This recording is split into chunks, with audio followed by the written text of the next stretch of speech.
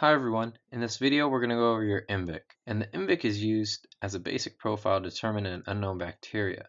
IMViC looks for, and what it also stands for, is indole, MRVP, and citrate. Now MRVP and citrate use direct tests for themselves, while indole we use in conjunction with another test called a SIM test. So let's go ahead and take a look at that.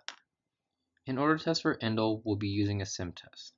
What SIM stands for is sulfur, indole, and motility. These are the three things that the SIM test looks for. Now doing this experiment, the SIM test uses a solid medium inside of a test tube and we'll be using a stick as opposed to the loop. With the stick, we'll flame it, grab our bacteria, and simply just stab the media as you can see over here. Try to just go in a simple straight line and don't go in a jagged motion.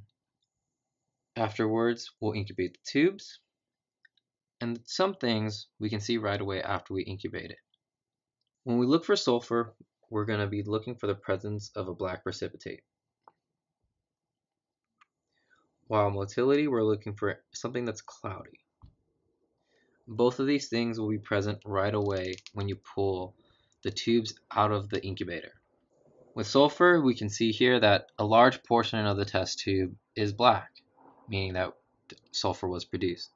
The amount of sulfur can vary. You're just looking for the presence of some kind of black precipitate. Doesn't matter how much or how little. If it's there, it's there. Pretty definite. Now please excuse the drawing, I just didn't have the colors for it, but it's just like a clear haze from the original sim tube. And what that means is that we have motility. Cloudiness means motility.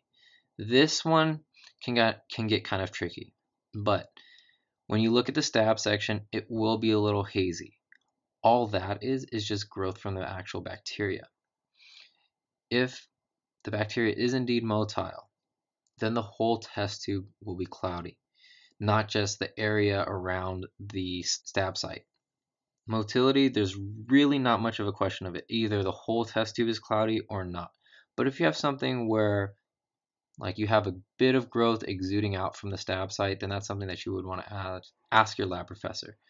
But for the most part, if it's just a little bit just surrounding the stab area, then that's just bacterial growth, not an indication of motility. But now, lastly, the thing that we're all interested in, indole. The thing with indole is that we don't see this reaction right away the thing we have to do is add Kovacs reagent. And when we add Kovacs reagent, the thing that we're going to be looking for is a change in color to red.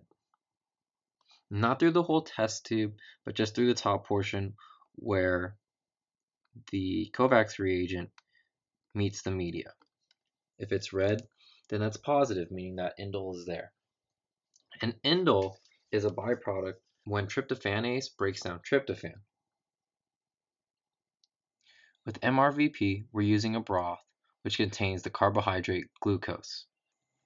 And when bacteria ferment carbohydrates, an acid end product is produced. What MRVP actually looks for is what the bacteria does with this acid. Does it keep the acid around or does it neutralize it afterwards? So we'll inoculate our bacteria into the broth let it incubate, pull it out. Afterwards, we're going to split that broth into two test tubes, add MR reagents to one, VP reagents to another. And we're going to see which one of these two test tubes turns red. Now, what does all of this mean? If MR is the one that turns red, then that means the acid that was produced by this bacteria from fermentation has been allowed to remain. But if VP is the one that turns red, then those acid end products have become neutralized. For this reason, both of these test tubes cannot be positive. They cannot both turn red, and that's because either acid is allowed to remain or it's neutralized. There's no in between here.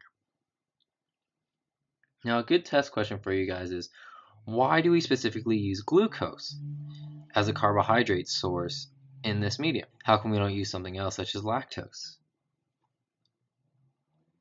With the citrate test, we're going to be using a solid medium inside of a test tube. And the way that works is we're going to take our loop, flame it, do all our aseptic technique, And once we have our bacteria, we're going to go down far into the test tube as much as we can. We don't want to touch the media just yet or pierce it. So once we get down to the bottom of the media, now we're going to apply the bacteria to it and we're going to squiggle our way back up. We'll flame our loop, grab our bacteria, go all the way down to the bottom of the media without piercing it, squiggle our way back up. One go should be more than enough. The thing that we're going to be looking for is whether the bacteria can use citrate as a carbon source. And it uses citrate as a carbon source only if citrate permease is present. Citrate permease actually brings in the citrate into the cell and allows the bacteria to convert that citrate and use it for things such as the Krebs cycle. And we determine the presence of citrate by seeing whether CO2, sodium, and water react together in order to give us sodium bicarbonate. Now this isn't a chemistry class, and depending on your lab professor, you may or may not need to know the reaction. If you do, please feel free to shoot me an email and we can go over it. But this isn't a chemistry class and I don't want to get you guys off topic. So, with the presence of sodium bicarbonate, the pH on the media begins to increase because it's a basic product.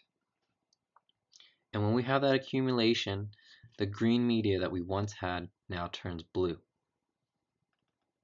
which indicates a positive result, meaning that citrate permease is, is present, and this bacteria does in fact use citrate as a carbon source for energy.